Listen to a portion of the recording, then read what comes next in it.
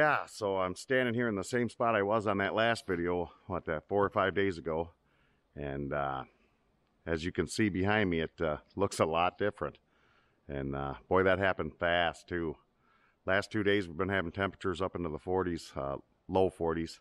But uh, we had some rain last night and on top of it and lost quite a bit of snow. Let's go take a look at what we had and uh, what we have now. And that is a 32 inch Rubbermaid uh, trash can.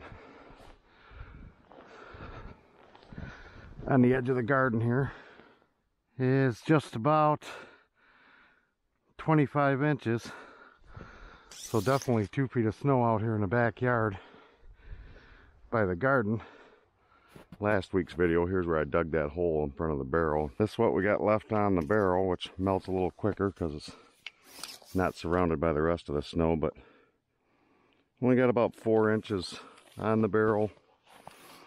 And then as you can see, got about six, seven inches on the ground. I'll dig a fresh hole in uh, the snow so we can see what uh, what the actual is still left on the ground. All right, so little spot here in the backyard garden.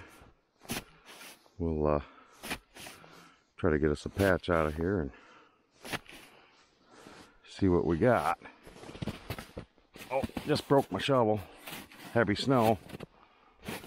It was already cracked, I think. And looks like we only got about 10 inches left on the ground here. There's still some people out there on the trail, some diehards and stuff. Uh, me personally, I don't like to ride in that sort of stuff.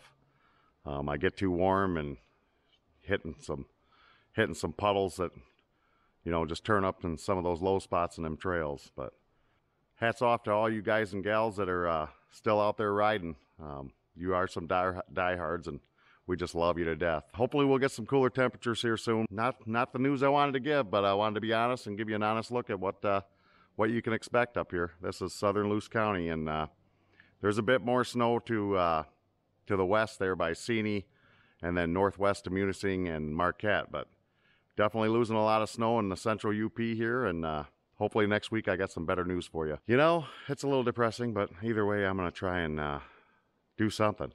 If I can't go ice fishing, maybe maybe the river will open up and I'll go after some pike and muskie or something. We'll see. Maybe some walleye. They're delicious.